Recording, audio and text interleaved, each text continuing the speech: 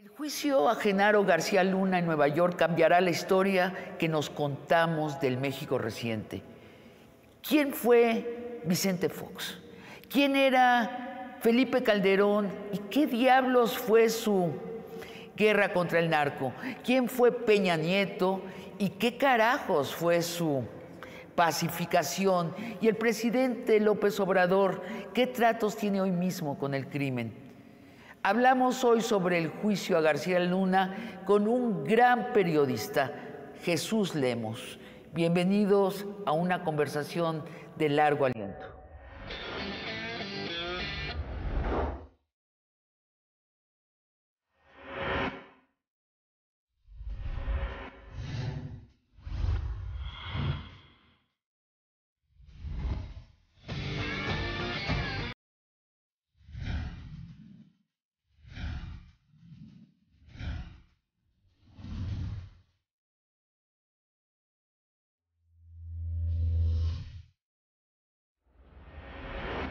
Jesús Lemos, bienvenido a Largo Aliento. Gracias, Sabina, gracias, muy amable por la invitación. Eh, te quiero entrevistar de cara a lo que va a suceder en enero. Yo creo que va a ser un parteaguas en la información que tenemos de la historia reciente de México, que es el juicio de García Luna en la ciudad de Nueva York. Sin duda alguna, estoy de acuerdo. Creo que sí va a ser un tema fundamental. Habíamos dicho que que el juicio del siglo era, fue el del Chapo Guzmán, pero creo que el del siglo va a ser realmente el de Genaro García Luna por los nombres que se podrían mencionar. Claro, y el hombre que estaba en el pico de la pirámide en cuanto a seguridad en este país en época del Chapo Guzmán y los que vinieron después. Déjame entrar de lleno a los asuntos de ese juicio. En diciembre del 2005 nos amanecimos con la noticia del rescate de tres personas secuestradas y la captura de dos secuestradores en televisión nacional. Hoy sabemos que se trató de un montaje armado por el director de la AFI, Genaro García Luna.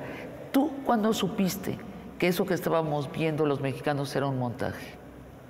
Bueno, eso yo lo, supe eh, prácticamente cuando yo estuve recluido en la cárcel de Puente Grande eh, estuve yo encarcelado por orden presidencial eh, por Felipe Calderón en el 2008, 2009 y 2010 y parte del 2011.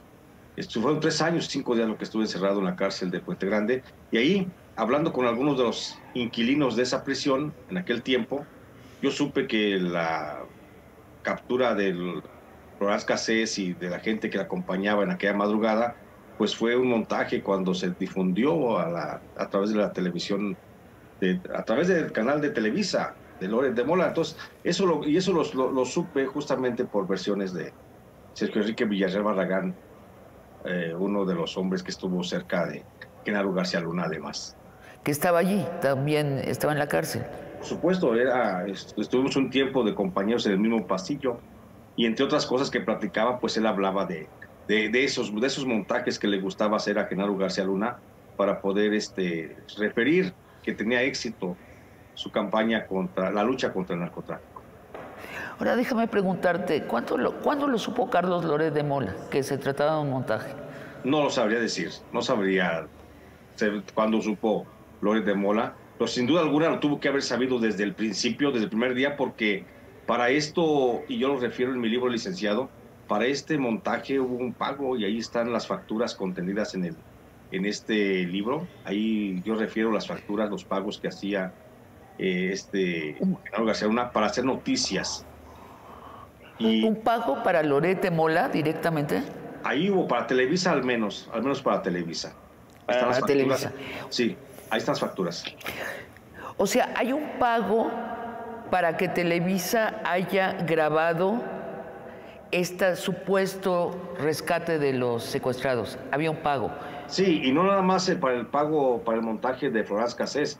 Hay un pago, eh, hay muchos pagos, ahí están las facturas, no recuerdo, han de ser algunas 70, eh, 80 facturas las que bajo ciertos programas institucionales se hacían pagos a, a Televisa para hacer este tipo de, inflar este tipo de notas. Y entre ellos estaba, por supuesto, lo de el montaje de Florence Cassés.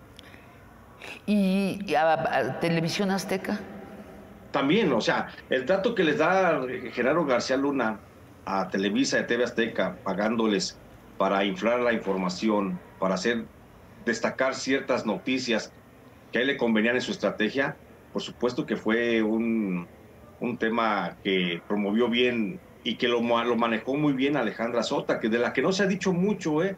Y se ha dejado siempre de lado, pero Alejandra Sota eh, estuvo junto con Max Cortázar, fueron los que eh, idearon la forma de acercarse a Televisa y a TV Azteca y a otros medios también a los que les pagaron millones de pesos, pues para promocionar los avances de la lucha contra el narcotráfico, de la famosa guerra contra el narco. Y ahí, por supuesto, incluye este montaje.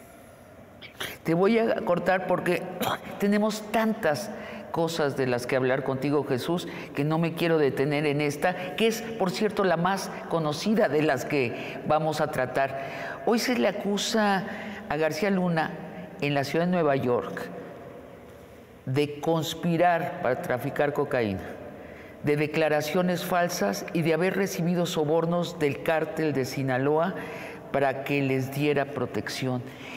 Eso desde que fue director de la AFI en el sexenio de Vicente Fox. ¿Qué piensas tú? ¿Es posible que Fox, el presidente Fox, no supiera que el señor tenía tratos con el cártel de Sinaloa, nada menos y nada más, para proteger al cártel? No, es, imposible que el propio presidente de la República y el procurador de entonces no hayan sabido quién era eh, Genaro García Luna. Eso era un, un secreto a voces la forma en que estaba corrompido el, titular de la AFI. Y esto no nada más hay que decirlo, Sabina, no nada más lo sabía en su momento Fox que Genaro García estaba recibiendo sobornos, también lo sabía el jefe de la oficina de la presidencia de aquel tiempo, que era Alfonso Durazo Montaño, y también lo sabía el secretario de Seguridad Pública del gobierno federal de aquel tiempo, que era Alejandro Gersmanero. Entonces, no nada más era el presidente, había un grupo élite de gobierno que sabía quién era Genaro García Luna, cómo estaba recibiendo sobornos de Jesús Zambada García, el famoso rey Zambada, y, eso todo el mundo sabía, o sea, lo llegó a saber la prensa, lo sabía eh, la gente de abajo, que no lo supiera la gente de arriba. Por supuesto que había conocimiento de todo. Entonces, eh, había una intención de engañar al pueblo de México desde siempre, desde siempre hubo, desde mi punto de vista, desde siempre hubo la intención de engañar al pueblo de México tratando de establecer quién era Genaro García Luna, tratando de establecerlo como un gran policía, tratando de señalarlo como un referente de la lucha contra el narcotráfico y se le fue construyendo una carrera por intereses de potentados económicos. Hay que recordar que Genaro García Luna eh, estuvo, fue recomendado a Vicente Fox para estar al frente de la titularidad de la AFI, pues justamente por Carlos Slim, porque Carlos Slim ya había venido trabajando con Genaro García Luna eh, cuando Carlos Slim le ponía a disposición de Genaro García Luna, de director del CISEN, le ponía a disposición las líneas telefónicas de Telmex para que pudiera hacer su labor de espionaje. Desde ahí se conocen y hay que recordar también un hecho muy importante, que Genaro García Luna intervino muy positivamente en la resolución del secuestro de Alfredo Hart Elú, primo hermano de Carlos Slim. Entonces, desde ahí hay una relación muy estrecha entre Carlos Slim y Gerón García Luna. Que seamos de, de memoria corta o de memoria selectiva, pues es otra cosa. En México sucede eso de manera frecuente. A Gerón García Luna se le, asocia, se le asocia nada más con el narco y con Felipe Calderón, pero también tiene nexos con, hacia otros lados. Estamos hablando de los que te dije ya, de los personajes. Entonces, sí había... O sea, lo que es Déjame traducir lo que estás diciendo.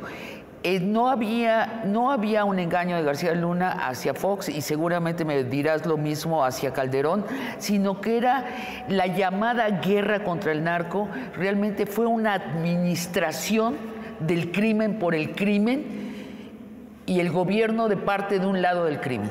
Exactamente, así, en esas palabras, querida Sabina. Eh, hablemos de Calderón. Eh, García Luna fue designado por el presidente Felipe Calderón como secretario de Seguridad mientras posiblemente seguía traficando droga y protegiendo al cártel de Sinaloa. Te lo, te lo pregunto directamente.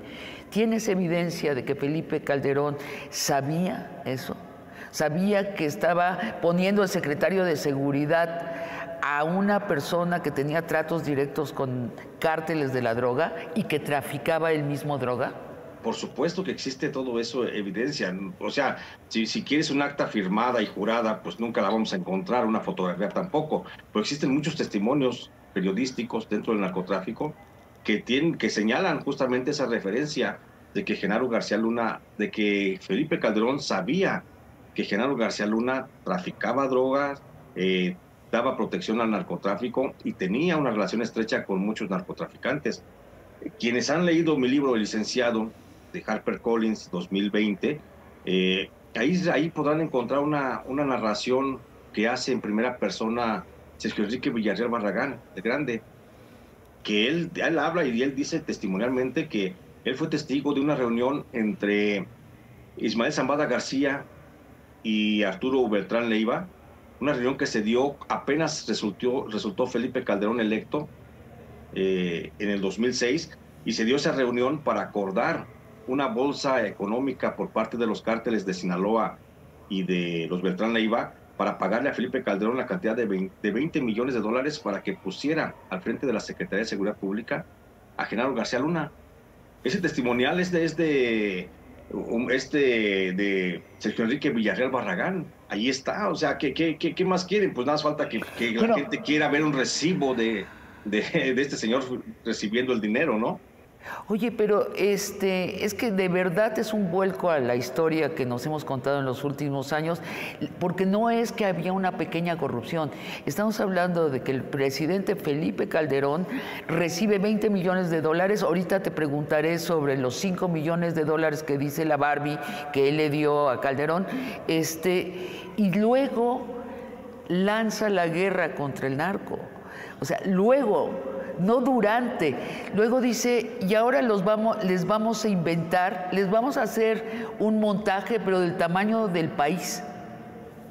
Exacto, es, es correcto lo que refiere. O sea, eh, Felipe Calderón sabía y, para, para, para, cubrirse, tal vez para, para protegerse incluso de la misma historia de que un día fuera a ser señalado como está siendo señalado de haber estar coludido con el narcotráfico, por eso inventó su guerra contra el narcotráfico y por eso lanzó supuestamente a todas las fuerzas federales a combatir, cuando en realidad eh, era, era por, frente a las cámaras de, de, televisión y frente a los medios de comunicación combatía el narcotráfico, pero por debajo de la mesa recibía el dinero del crimen organizado y eso ya, eso ya está más que establecido periodísticamente. Falta nada más que se atrevan a, establecerlo judicialmente.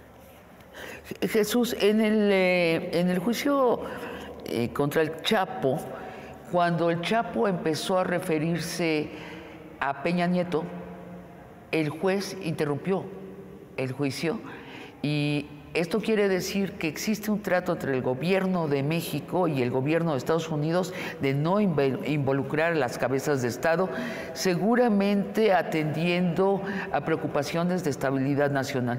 ¿Tú crees que en este juicio que se avecina en enero, finales de enero, principios de febrero en la ciudad de Nueva York, ¿van a hacer lo mismo? ¿Van a seguir protegiendo los gringos a las cabezas de Estado mexicano? Dicho directamente Fox y Calderón. Eh, yo, pues, yo pienso que son otros tiempos. Podría ser que no. Podría ser que se permita que se mencionen algunos nombres eh, pues de presidentes o expresidentes dentro del juicio. Eh, recordemos que ya hay una testimonial de Alexis Cifuentes, un narcotraficante colombiano, que habla de que el Chapo Guzmán pues, sobornó, y, cito textualmente lo que dice, sobornó al presidente Peña Nieto y al actual presidente. Y esa declaración fue hecha justamente en, durante, en el 2019. Entonces, creo que... ¿A López Obrador? Así dice, así dice la testimonial. A Enrique Peña Nieto y al actual presidente. Y fue una declaración que hizo en el 2019 Alexis Cifuentes. Entonces, ese, ese tipo de declaraciones y ese tipo de que esté documentado ya en una testimonial eh, pública de la Corte de Estados Unidos, habla de que posiblemente el juez Brian Hugan pueda ahora sí permitir que se mencionen los nombres que se tengan que mencionar para ir esclareciendo poco a poco la historia del narcotráfico en México. En México y en Estados Unidos, ¿no? Porque también ellos nos tienen que contar la historia secreta de su, de, su tráfico y ya hablaremos, haremos otro programa sobre esto, la historia secreta del tráfico de drogas en Estados Unidos y el solapamiento de la CIA, la FBI, la DEA a ese tráfico de drogas y los presidentes americanos. Oye, se ha filtrado recientemente que la Barbie afirma que le pagó 5 millones de dólares al presidente Calderón. ¿Es así? ¿Ha lanzado la acusación? Bueno, sé, sé que hay una versión pública en ese sentido, pero yo no tengo ningún, ningún dato testimonial ni documental que refiera a esa posibilidad. De lo que yo te puedo decir es que yo tengo el testimonio nada más de Sergio Enrique Villarreal Barragán, que habla de que le pagó 20 millones de dólares al presidente. 20. 20 pero no pues desconozco, no tengo ningún dato en el sentido de la Barbie. Ahora, a todo esto, ¿a dónde está la Barbie? La, Barbie está, está siendo testigo protegido. Él, ya no está en ninguna prisión de Estados Unidos. Él ya no está bajo la protección, digo, bajo la observación del gobierno federal, pero sí bajo la protección. Justamente, él es un testigo protegido que desde, posiblemente desde junio de este año, haya estado ya fuera de la prisión, posiblemente con otra identidad, posiblemente con otro rostro, posiblemente con con un trabajo a lo mejor decente en alguna parte del mundo. Como En una trapalería. ¿Te lo imaginas en una trapalería? Bueno, en una trapalería con sus millones de dólares guardados en el banco, pero por supuesto que, que está en alguna parte protegido porque es un personaje al que el gobierno norteamericano considera que le puede seguir explotando, considera que le puede seguir eh, obteniendo información y podría ser útil en el futuro. Este, ¿Te acuerdas esa foto cuando apresaron a la Barbie?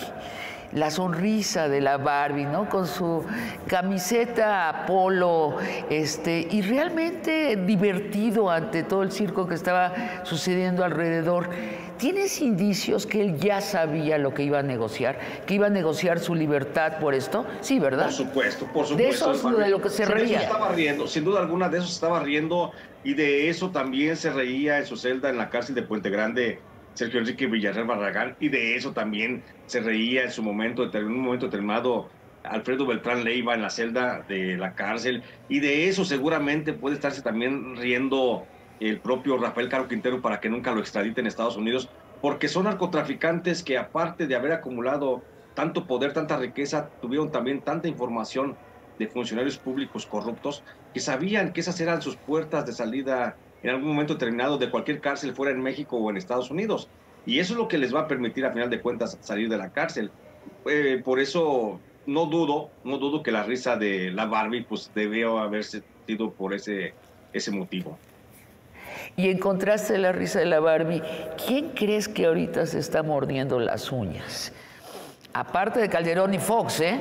Aparte de ellos, creo, sin duda alguna, creo que debe ser el secretario de Gobernación de, eh, perdón, perdón, no, el secretario de Gobernación. Sí, el secretario de Gobernación de Enrique Peña Nieto, el propio Miguel Ángel Osorio Chong, que podría estar también relacionado, el propio general Salvador Cienfuegos Cepeda, secretario de la Defensa Nacional del gobierno de Enrique Peña Nieto, creo que serían los, los más este, importantes funcionarios públicos en México o exfuncionarios públicos, uno de ellos, que se esté mordiendo ahorita los labios porque seguramente va a surgir, van a surgir muchos nombres en este juicio de Genaro García Luna, porque hay mucha gente que le dio todavía contratos a Genaro García Luna, te digo, desde la Secretaría de Gobernación, cuando ya estaba, se sabía de su colusión con el narcotráfico y seguía vendiendo servicios de espionaje, software y hardware al gobierno federal mexicano.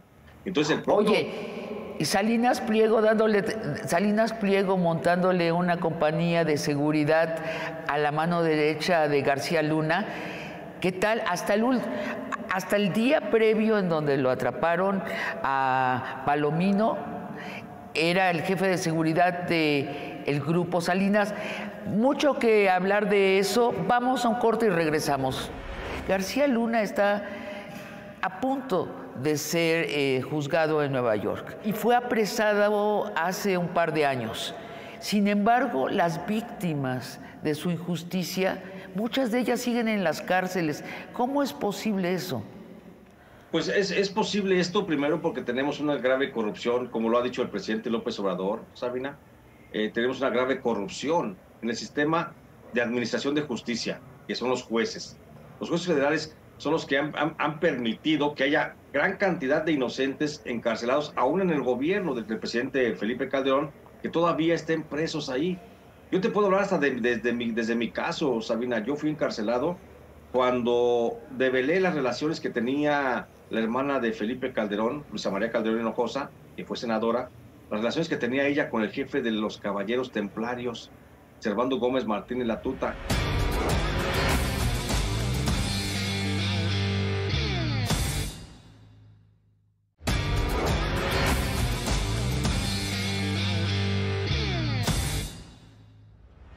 Jesús, eh, bienvenido de otra vez a Largo Aliento. En el sexenio de Enrique Peña Nieto, Genaro García Luna ya no tenía cargo. Sin, e, sin embargo, seguía ejerciendo un poder. ¿Nos puedes explicar en qué consistió el poder de García Luna en el sexenio de Peña Nieto? Claro, después de que termina Genaro García Luna su función como secretario de Seguridad Pública con Felipe Calderón, el gobierno de Enrique Peña Nieto hizo una labor de cabildeo. Él era un cabildero muy importante de algunas empresas transnacionales dedicadas a la venta de servicios de espionaje para el Estado mexicano y él fue un promotor intenso de muchas empresas del gobierno israelí, perdón, no, no del gobierno, muchas empresas de origen israelita que se sentaron en México y que comenzaron a vender equipos de cómputo. Pegasus, por ejemplo, pues fue comprado justamente porque Genaro García Luna fue el que lo ofreció al gobierno mexicano y fue el que, eh, bueno, movió sus relaciones públicas para que fuera adquirido incluso en algunas ocasiones a sobreprecio ese, ese software de espionaje. Entonces, esa fue la principal labor que hizo Genaro García Luna, conectar empresas transnacionales de espionaje con el gobierno mexicano a través de sus conexiones que tenía el propio exsecretario de Seguridad. Ahora, háblanos de Cárdenas Palomino, otro, el lugarteniente de Genaro García Luna, si es culpable de lo que se le culpabiliza a García Luna, Palomino era su mano ejecutora. Este señor se pasa el sexenio de Peña Nieto siendo el jefe de seguridad del Grupo Salinas. Cuéntanos, ¿cómo fue eso? El caso, el caso de... Es, muy, es muy importante revisar ese tema de Luis Cárdenas Palomino porque aparte de que fue el secretario particular de Genaro García Luna y que a través de él bajaron muchas, muchas de sus instrucciones, no nada más de recibir cobros o de dar protección a ciertos grupos de narcotráfico, sino también de ejecutar algunos de los comandantes que ya le eran incómodos al propio Genaro García Luna. Eh, pues también él, él fue, Luis Cárdenas Palomino fue promotor de la privatización de la seguridad pública del gobierno mexicano. Él fue el que gestionó con el propio Genaro García Luna la creación de una ley para que las empresas, para crear empresas privadas a las cuales se les diera la posibilidad de, vender servicios de seguridad al, al, mejor postor. Y gracias a él se crearon 360 empresas particulares de seguridad pública que misteriosamente ganaron contratos para cuidar los servicios de seguridad en estaciones de tren, en aeropuertos, en, en puertos, en centrales de autobuses puntos neurálgicos del, del, país por donde transitan drogas, armas, inmigrantes y cualquier tipo de cosa que puede beneficiar. El caso es que Luis Cárdenas Palomino fue el autor de esta, de esta maquiavélica situación que poco se ha dicho de cómo se privatizó y cómo se sigue manteniendo la privatización de la seguridad pública. ¿eh? ¿Quién, ¿Quién maneja las cámaras de seguridad de la Ciudad de México? Pues es una empresa particular es una empresa particular donde tiene que ver este Palomino. Bueno, es asombroso, ¿no? No, es que Luis Cárdenas Palomino también cuando hace, permite que se, que se subvencione la, la seguridad pública, él mismo dice, yo quiero crear una, una, una empresa privada y se asocia con el dueño de, de, TV Azteca, del Grupo Azteca, este señor, ah, se va el nombre, Ay, ¿cómo se llamará? Ricardo Salinas Pliego. Ricardo, Ricardo Salinas Pliego. No sé si se me iba, si me iba el nombre. Sí, Ricardo Salinas Pliego eh, se asocia con Luis Cárdenas Palomino y crean una empresa que se llama Adamantium. Y a través de Adamantium le ofrece o se vende servicios él mismo de seguridad a todo lo que es el corporativo azteca. Y, y no nada más eso. Sí, no nada más eso. Adamantium también se dedica a la prestación de servicios de algunas minas que tiene el grupo de Salinas Pliego. donde por cierto hay que decir, en esas regiones ha habido asesinatos de periodistas y ha habido asesinatos de eh, defensores del medio ambiente que están en, oposición a ciertas minas, como por ejemplo allá en Baja California, donde la mina Los Cardones, propiedad de este grupo de Salinas Pliego, pues ha causado la muerte, extrañamente, de, ambientalistas, defensores de esa región, y donde, están, este, involucrados en las investigaciones primarias al menos elementos del grupo Adamantium, ¿eh? Ahora, hay que entender la gravedad del asunto de que la Ciudad de México, la ciudad capital, sea vigilada, pero no por el Estado, sino por empresa, una empresa privada. Es decir, que nuestra seguridad está depositada en una empresa privada, pero también toda nuestra información. Podríamos de pronto tener un golpe de Estado de los privados al Estado mexicano con una facilidad tremenda, porque les hemos dado nuestra, nuestra inteligencia. Sí, sí, sin problema. E, ese es el riesgo de la privatización de la seguridad pública, que hoy los, los servicios de protección, como tú señalas, las muchas cámaras de seguridad están controladas por, por empresas particulares. Mira, no vayamos tan lejos. El mecanismo de protección eh, tiene subvencionado el servicio de protección a periodistas a través de una empresa privada que es RCU Sistemas. RCU Sistemas este, tiene relación con, miembros de esa, de esa corporación con, con el propio Genaro García Luna. Y podemos hablar de otras empresas que tienen, que están al frente de la seguridad de algunos municipios en el país. Jesús, es de una perversidad infinita lo que estás diciendo. O sea, la protección de los periodistas. Es perverso lo que hicieron ellos. Nosotros estamos no, documentando. Gramática me falló acá. Está relatando una realidad perversísima, que el sistema de protección a los periodistas que investigan la corrupción está en manos de los corruptos, de los más corruptos, los corruptos que se atreven a asesinar. Este, bueno, sigamos adelante en esta historia realmente siniestra. García Luna está a punto de ser eh, juzgado en Nueva York. Y sin embargo, perdón, y fue apresado hace un par de años. Sin embargo, las víctimas de su injusticia, muchas de ellas siguen en las cárceles. ¿Cómo es posible eso? Pues es, posible esto primero porque tenemos una grave corrupción, como lo ha dicho el presidente López Obrador, Sabina. Eh, tenemos una grave corrupción en el sistema de procuración, no, de procuración, en el sistema de administración de justicia, que son los jueces. Los jueces federales son los que han, permitido que haya gran cantidad de inocentes encarcelados, aún en el gobierno del presidente Enrique Peña, perdón, del presidente Felipe Calderón, que todavía estén presos ahí.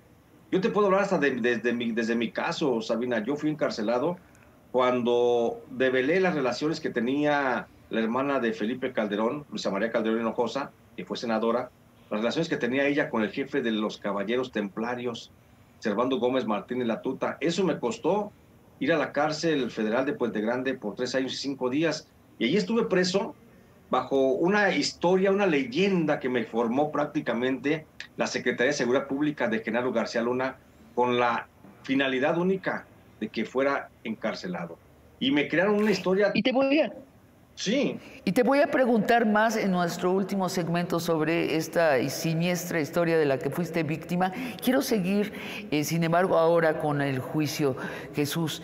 La DEA y la CIA sabían siempre quién era García Luna y Cárdenas Palomino y colaboraron con ellos.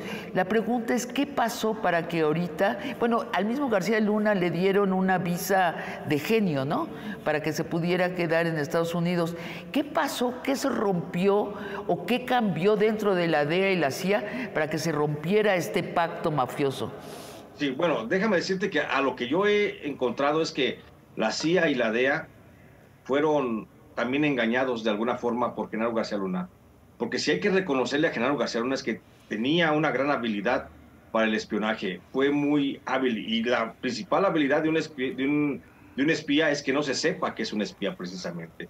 y Genaro García Luna supo engañar perfectamente al gobierno de Estados Unidos y a otros gobiernos del mundo que le dieron reconocimientos como los franceses, los españoles, los canadienses, Japón, le dio un reconocimiento como gran policía del mundo, o sea, engañó a muchas agencias de investigación. Los engañó. Sí, y entonces engaña al gobierno de Estados Unidos porque Estados Unidos lo capacitó a través del FBI en materia de antisecuestro, lo capacita a través de la DEA en materia antidrogas, lo capacita a través de la CIA en materia de antiterrorismo. Y Estados Unidos lo veía inicialmente como un gran policía, como un hombre que verdaderamente estaba luchando contra la delincuencia organizada y le comenzó a soltar millones y millones de, pesos. ¿Qué es lo que fracturó la relación? Justamente eso, que el gobierno de Estados Unidos, después de que se establece el Plan Mérida, que fue como la oficialización de la relación, de la intervención de Estados Unidos en México para combatir el narcotráfico, eh, comenzaron a ver que no estaban bien invertidos los millones de dólares que estaban mandando el gobierno de Estados Unidos y comenzaron a encontrar faltantes, algo así como 21 millones de dólares. Y fue cuando comenzaron a investigar, fue después también a través de las detenciones de algunos narcotraficantes que comienzan a conocer la relación de García Luna y cómo los estaba eh, obligando al pago de una protección. Es cuando Estados Unidos dice, es que este no es y no es, no es tan bueno como pensamos, y es cuando se rompe la relación, y es cuando comienza a dársele el seguimiento de investigación. ¿Qué fecha? ¿Qué fecha será esa? Estamos, estamos hablando de que posiblemente, yo ubico la fecha, de que posiblemente hacia el 2007 fue cuando Estados, en Estados Unidos comenzaron a ver que Genaro García Luna no era el hombre de las confianzas que tenía que, que ver. Eh, comienzan ahí a... Pero se, pero se tardaron en apresarlo, se pasó toda la época de Peña sin apresarlo y seguían teniendo relación con él. Sí, porque, la, porque los principales indicios de esa, de esa relación no estaban bien sólidos y los, se tuvieron que eso, eh, se solidificaron justamente con las detenciones de, eh, de este narcotraficante Damaso López Núñez. Fue el primero que, que metió presión y puso y expuso quién le había dado protección, cómo eran las relaciones de García Luna con el Chapo Guzmán. Y ya después esos, bueno, se van este, sumando a otras declaraciones, principalmente del, del Vicentillo, Vicente Zambada Niebla y de otros como el propio Jesús Zambada García. Entonces, son las, hasta, es hasta que se solidifican esas declaraciones que dicen, que dice Estados Unidos, ahora sí lo tenemos agarrado bien de las manos, esperan a que termine su gestión, porque no iban a entrar en un proceso diplomático, aunque finalmente podrían haber entrado. Espero a que terminara su gestión para poder darle, echarle el guante encima. ¿Tú te imaginas al gobierno de Estados Unidos citando a Felipe Calderón y a Vicente Fox a declarar? Sí, sí me imagino y es algo que no estamos este, lejos de que pueda suceder. Creo que sí, aunque aquí podría ser, esto tenemos que verlo políticamente. Si si mientras esté Joe Biden en la presidencia va a ser muy difícil porque Joe Biden es muy amigo de Felipe Calderón.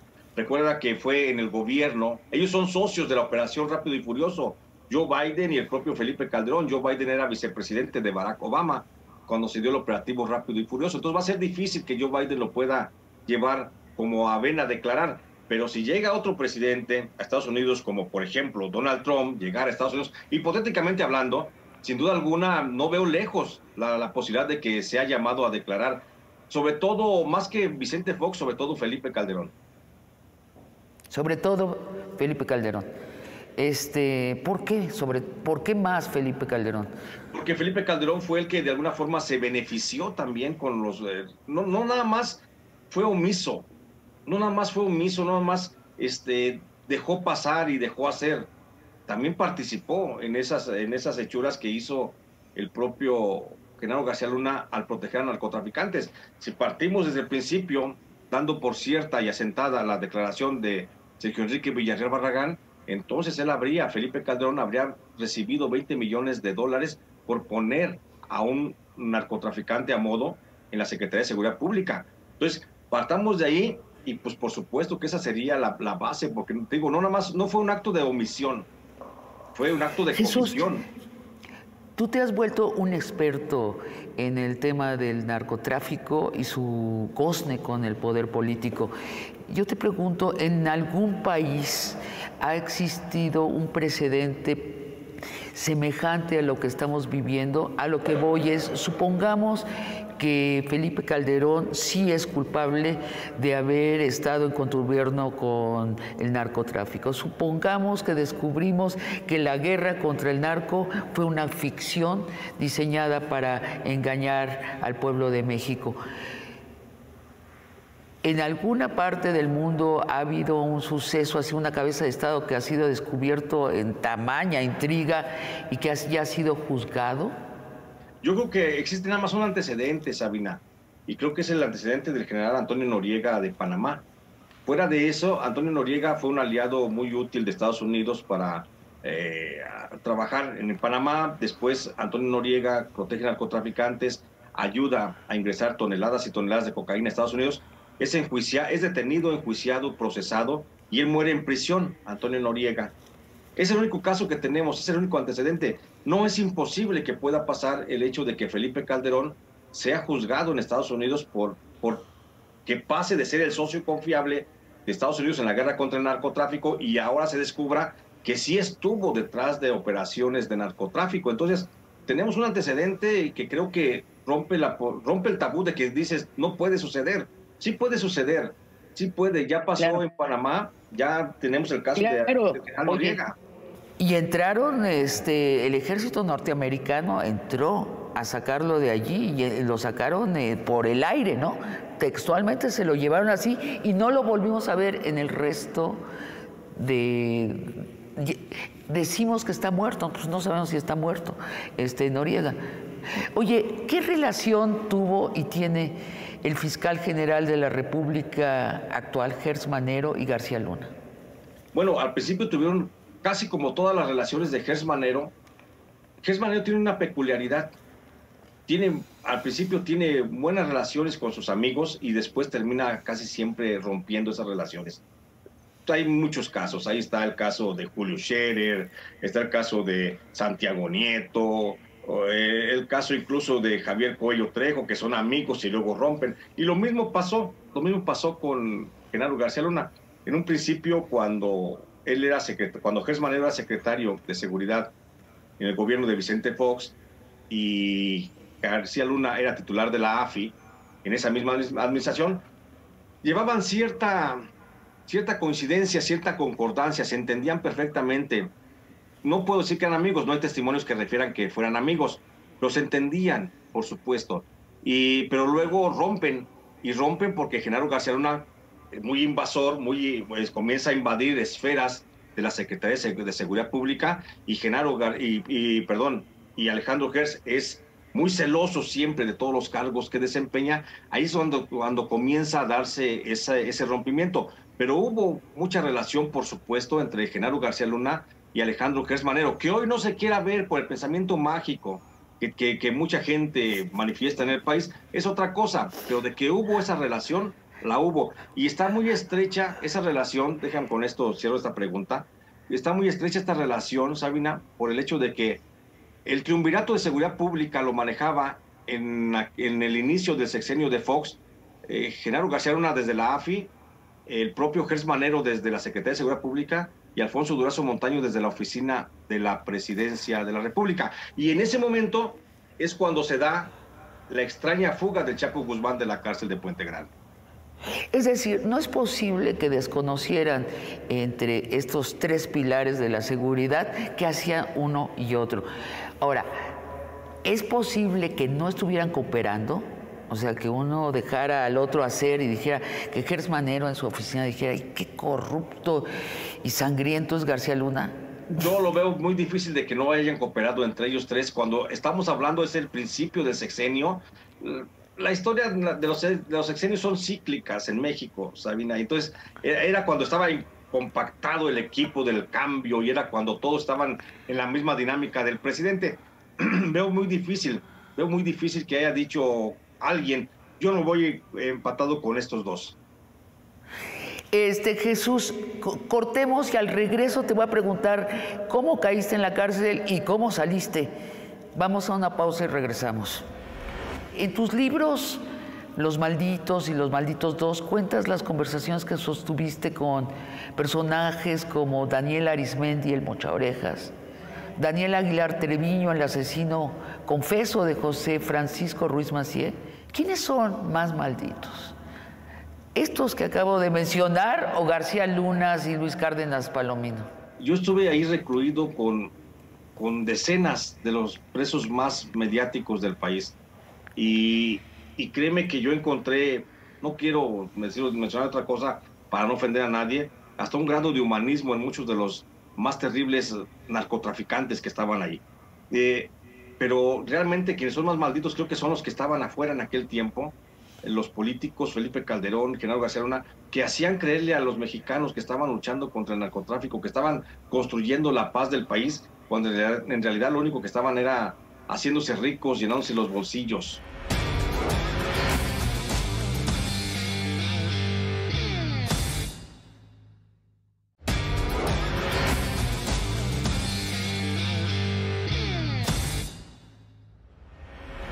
Jesús, bienvenido a Largo Aliento. Te, ya nos contaste por qué caíste en la cárcel, ¿no? Este, si nos haces un breve resumen y si nos dices cómo es que saliste. Bueno, yo como te comentaba, caí en la cárcel por una venganza de Felipe Calderón.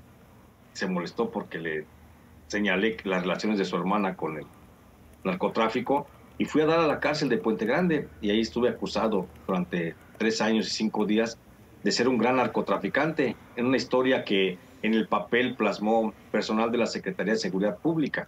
Así me crearon una historia delictiva increíble que casi yo me la creo. Termino en la cárcel, sí, termino en la cárcel y el juez de, que tenía de consigna en aquel tiempo, Roberto Miranda, eh, pues él termina dándome una sentencia condenatoria en primera instancia de 20 años 10 por delincuencia organizada y 10 por fomento al narcotráfico. Hice la apelación en el proceso y por supuesto un tribunal de alzada, una magistrada de un tribunal unitario de Guanajuato, encontró que no había una sola prueba, porque todo era, todo era una versión oficial, no hubo una sola prueba, no hubo una llamada, no hubo una reunión, no hubo una fotografía, no hubo una cuenta bancaria que dijera que yo era un narcotraficante. Eh, y terminé siendo absuelto por el gobierno eh, bueno, por la justicia mexicana. Me absolvieron, dijeron no hay ninguna responsabilidad. Quedé totalmente absuelto de todo cargo. Pero deberíamos de construirle monumentos a los jueces este, limpios. Son pocos, pero son cruciales en las vidas de la gente. Este, en tus libros, Los Malditos y Los Malditos Dos, cuentas las conversaciones que sostuviste con personajes como Daniel Arismendi, el Mocha Orejas, Alfredo Beltrán Leiva, el Mochomo, Daniel Aguilar Treviño, el asesino confeso de José Francisco Ruiz Macié, con Mario Aburto y Rafael Caro Quintero, entre otros. ¿Quiénes son más malditos? ¿Estos que acabo de mencionar o García Lunas y Luis Cárdenas Palomino? Justamente eso, eso, Sabina. Creo que yo estuve ahí recluido con con decenas de los presos más mediáticos del país. Y, créeme que yo encontré, pues a veces hasta un grado, no quiero mencionar otra cosa para no ofender a nadie, hasta un grado de humanismo en muchos de los más terribles narcotraficantes que estaban ahí. Eh, pero realmente quienes son más malditos creo que son los que estaban afuera en aquel tiempo, los políticos, Felipe Calderón, Genaro García Luna, que hacían creerle a los mexicanos que estaban luchando contra el narcotráfico, que estaban construyendo la paz del país, cuando en realidad lo único que estaban era haciéndose ricos, llenándose los bolsillos con los sobornos. Y a, nivel de hechos, es decir, García Luna es culpable de, ya nos ilustraste sobre lo que es culpable, pero a nivel de violencia, de crueldad hacia sus adversarios, ¿de qué era capaz García Luna? No, García Luna. Cárdenas Palomino. García Luna, Cárdenas Palomino, este otro eh, señor de Puebla, se el, nombre, que también está preso, preso ahora. Eh, pues todos ellos, todos eran perversos, tan perversos que se mataban. Genaro García Luna, si un comandante de la policía ya no le servía para sus fines o, veía que ponía en riesgo su proyecto de enriquecimiento ilícito con el narco, simplemente lo mandaba y lo ejecutaba. Ahí vemos del equipo principal de Genaro García Luna los principales comandantes que fueron asesinados. Hubo mucha gente que desapareció. O sea, y él mismo los mandaba a asesinar. Creo que a Genaro García Luna se le queda corto el juicio que se está haciendo en Estados Unidos, nada más por lo que es el tráfico de drogas y el soborno y esas cosas. Debió haber sido también eh, procesado por una serie de asesinatos que fueron claramente y con muchas evidencias de prueba, te lo digo, que fueron ordenadas por él a través de justamente de Luis Cárdenas Palomino. Entonces creo que sí hay mucho de qué acusar a este personaje. Bueno, Cárdenas Palomino este, se sabe que se inicia en la vida policíaca y criminal, que para, en, su caso son sinónimas, son el mismo camino, porque mata de adolescente a un taxista para ver qué se siente. Mata a un taxista para ver qué se siente. Sí, hay un antecedente ya criminal desde aún antes de ser policía y aún esto eh, General García Luna pues lo permite, lo tolera y, y, así eran las ejecuciones de ellos, entre ellos, mandaban, asesinaban a sus propios compañeros sin ningún tipo de piedad. Así era, Genaro, digo, son, ellos sí son verdaderamente malditos, Sabina. ¿Vas a entrar al juicio en Nueva York? ¿Vas a ir? Sí. ¿Te van a dejar reentrar? ¿Para quién lo vas a cubrir? Para Los Ángeles Times. Para, para Los ¡Wow! ¡Qué bien! Eh, ¿Vas a escribir directamente en inglés o te vas a tener un traductor? Voy a escribir en español y que lo traduzca. Muy bien. Eh, ¿Y tú crees que va a fluir la información realmente al público? O como te preguntaba antes, van a reservar los temas más importantes, como han hecho hasta ahora los gringos en el asunto del narcotráfico. No, te digo, yo pienso que por lo, por lo que ya se, se ha dado muestras este juez de cómo va a llevar el caso, creo que no va a restringir, creo que no va a atestar ningún testimonio de los que se emitan ahí en la, en la corte, entonces habré, habremos que estar muy al pendiente. Ojalá si sea información así abierta, que se diga claramente lo que se tenga que decir, para que también los mexicanos pues, sepamos por dónde van las historias a continuar. García Luna te encarceló y te torturó por escribir sobre sus pecados y los de Felipe Calderón. Ahora él está preso y, por, y está por pagar sus culpas. ¿Sientes una satisfacción? No, no, no, no siento satisfacción. En este sentido creo que eh, permito, intento no permitirme ningún tipo de sentimiento hacia este caso. Lo veo como un hecho meramente periodístico. No quiero pensar que le vaya bien y que le vaya mal. No, simplemente es, es un hecho de sus propios actos y que pues Dios se ampare de él y, de, y la justicia que se cumpla nada más. La verdad es que no tengo ningún, no quiero ni pensar en ningún tipo de filia ni de fobia hacia la persona de Genaro García Luna. Sé que la debe estar pasando terrible porque la cárcel es terrible hasta para el más de los, de los malditos. Eh, sé que la está pasando terrible y, no, no, me permito pensar esa posibilidad de, de, sentir algo, algo por su situación. Caray, o sea, pero es como negar un sentimiento a la satisfacción de que haya justicia de vez en cuando. Sí, sí, sí, a lo mejor. derecho a Sí, sí, pero no te lo permites, Jesús. No, no, no me lo permito porque no quiero este, tergiversar mi trabajo periodístico. Sé que si, si me siento gozoso por lo que esté pasando, a lo mejor escribiría en ese sentido. Entonces no me lo, no me lo permito, no me lo puedo permitir, Sabina, porque hay mucha gente que sigue creyendo en lo que yo escribo, entonces no le quiero traicionar. Y eso es, sí, eso es la represión de un sentimiento, por supuesto. Es la represión de un sentimiento que no lo quiero manifestar y no quiero decir qué siento porque no quiero saber ni qué siento, vamos, ¿sí? Eh, yo lo, que, lo único que quiero es que se cumpla la justicia. Nadie le dijo ve y narcotrafica, nadie le dijo ve y déjate pues sobornar, nadie. Entonces lo único es, él es responsable de sus hechos. Eh, Jesús, descríbenos en qué condiciones está viviendo García Luna y qué le puede esperar.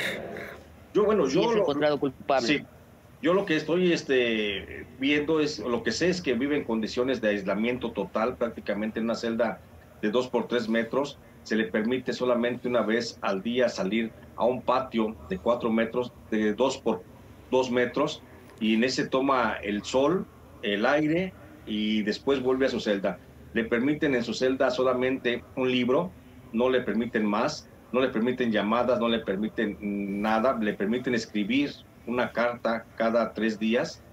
Eh, es, tiene una, un tratamiento con un psicólogo que lo visita, con el cual no ha querido hablar, por supuesto.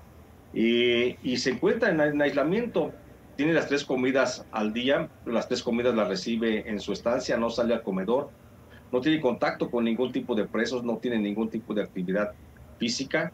¿Sigue, ¿sigue en relación con su esposa y su familia? No conozco yo ese, ese tema, Sabina.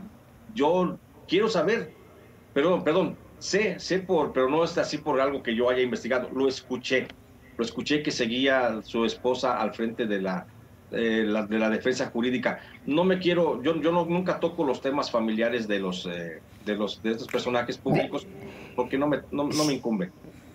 Pero, si es encontrado culpable, ¿qué, qué, castigo tendrá? Si es encontrado culpable, bueno, primero hay que, hay que pensar una cosa, si es que llega al juicio, porque Genaro García Luna sigue tratando de negociar ser testigo protegido para recibir eh, recibir una sentencia mínima que lo pudiera estar sacando de la prisión posiblemente en 10 años, 7 años. Es lo que está buscando. Si pudiera aportar datos de investigaciones que tenga el gobierno de Estados Unidos.